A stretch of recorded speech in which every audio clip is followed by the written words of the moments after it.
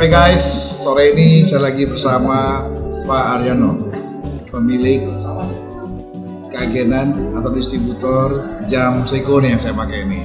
Penjualannya bagus di Indonesia nih. Kelebihannya apa? Seiko ini. Anti banting atau gimana?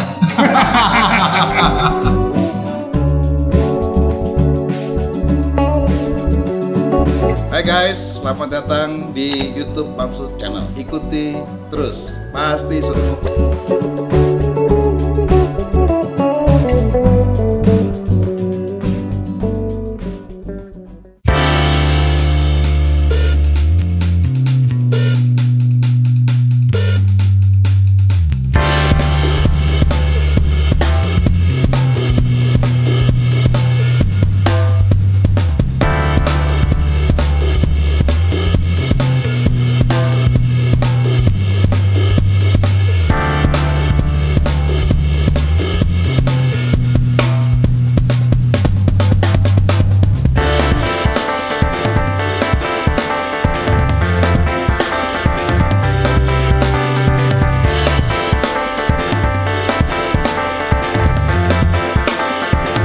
Hai guys, sore ini saya lagi bersama Pak Aryono, pemilik keagenan atau distributor jam Seiko nih yang saya pakai ini, Grand Seiko nih.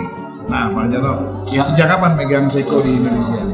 Ini Seiko ini kan buatan Jepang ya, Buatan Jepang. diproduksi sejak tahun serat- 1881. Waduh, udah berapa abad yang lalu tuh? Iya. Sejak kapan Pak Aryono? Eh, kita pegangnya sejak 78. Oh, udah lama juga Udah ya? lama juga, udah lama juga.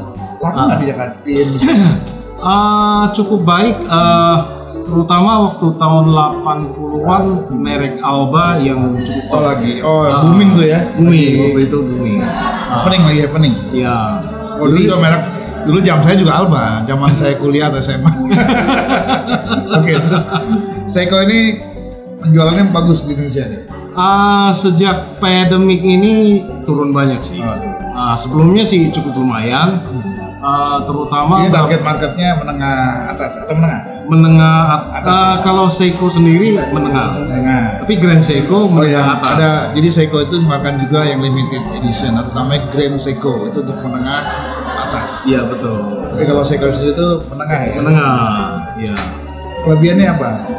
Seiko ini. Ah, kalau Seiko eh, dua tahun Anti banting atau gimana? Tapi ini jam legendaris. ya dua tahun ini dari Seiko banyak keluarkan eh, apa seri-seri limited, juga Limited. Ah, ah. untuk kolektor item ya. betul jadi seperti tahun eh, bulan lalu ada keluarkan eh, Seiko 5 Sport Hmm. untuk brand May. Brand May itu Oh, gitaris gitaris iya, iya. Queen. Nah, itu cukup bagus tapi limited. Hmm. Jadi di Indonesia hanya mungkin 200 piece.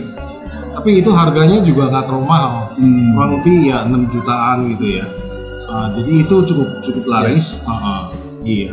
Kalau yang dipakai ini apa nih? Ini Grand Grand Seiko juga. Nah, ini Grand Seiko juga nih. Iya, nah, ini Grand Seiko juga. Bedanya ini sport, ini apa namanya? Ex- Eksekutif. eksekutif. ini bisa jadi kolektor item nih. Jadi kalau kita beli ini disimpan makin lama bukan harganya turun makin mahal. Iya. Jadi beli Seiko ya.